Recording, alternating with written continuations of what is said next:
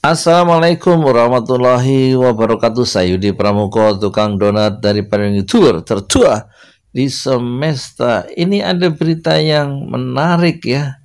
Amerika mulai menyerang Cina soal wabah corona dan minta ganti rugi triliunan rupiah ya. Setidaknya ini di majalah Newsweek setidaknya ada empat gugatan ya class action ya dari negara, empat negara bagian ya yang menuduh Cina telah berbuat kekeliruan ya dan mereka orang-orang Amerika minta ganti rugi triliunan dolar ya akibat kerusakan yang ditimbulkan baik kematian dan kerugian yang diderita oleh warga Cina.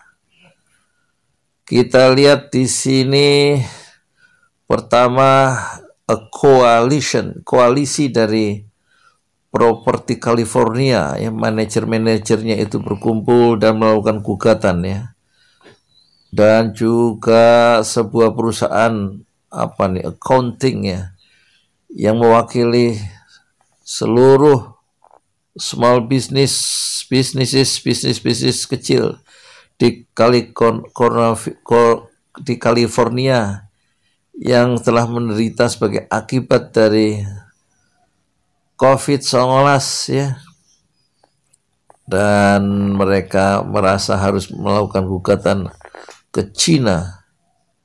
Dan juga ada lagi uh, sejumlah yang ketiga residence ya. Jadi warga dari Florida juga melakukan gugatan action dan juga ini ada grup apa Freedom Watch ya yang didirikan oleh Larry Clayman Clayman seorang pengacara konservatif ya dan juga pendiri dari satu Freedom Watch.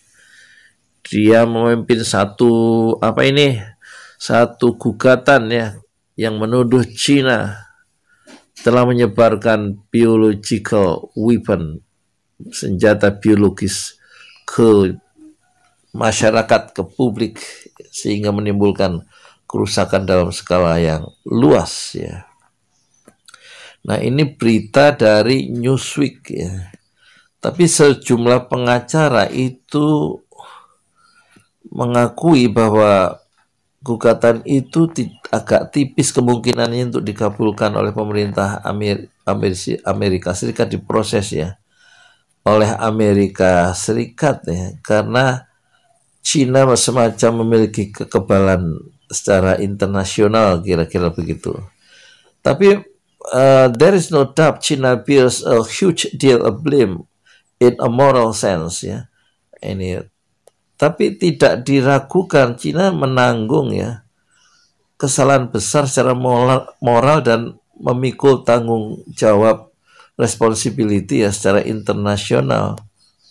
Kenapa? Karena China not containing this outbreak sooner kata Keitner ya karena China tidak um, membendung ya wabah ini dengan cepat ya. Jadi dia memang memiliki kesalahan secara moral dan harus memikul tanggung jawab secara internasional. Tapi penangan kata Keitner ya tapi Amerika uh, United States Court itu tidak apa tidak dalam posisi memberikan ganti rugi ya terhadap warga negara Amerika akibat kegagalan Cina menahan virus itu menyebar ke seluruh dunia. Tapi pen, dan peluang untuk mendapat ganti rugi itu diproses oleh pengadilan Amerika sangat tipis ya kata sejumlah ahli hukum. Tetapi si Clayman ini pengacara konservatif itu disagree, nggak setuju ya, tidak setuju. Dan Cina tidak memiliki kekebalan atau immunity ya diplomatik dan dia bisa diproses secara hukum dalam skala internasional menurut ukuran-ukuran uh, apa hukum internasional.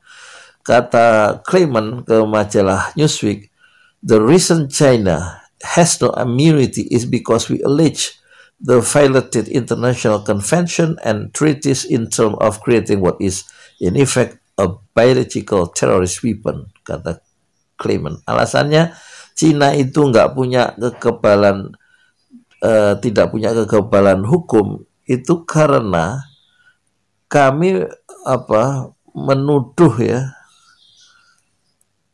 Karena kami menuduh Cina itu telah melanggar ya they violated melanggar konvensi konvensi dan hukum internasional.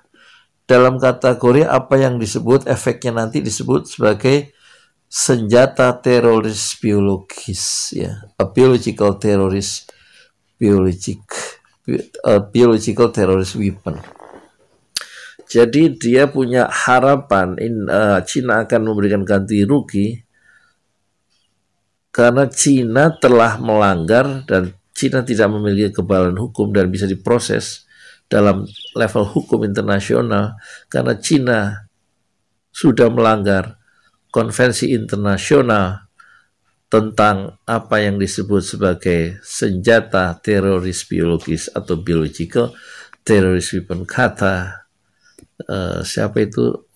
Claimant ya. Pendiri dari apa tadi uh, yang Freedom Watch tadi.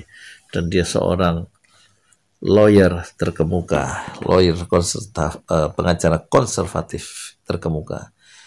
Ya itulah sedikit berita perkembangan baru. Sekarang Cina dikepung, diserang oleh Inggris, Israel, Amerika, uh, kemudian Mesir, India, dan negara-negara lain, dan mereka menuduh Cina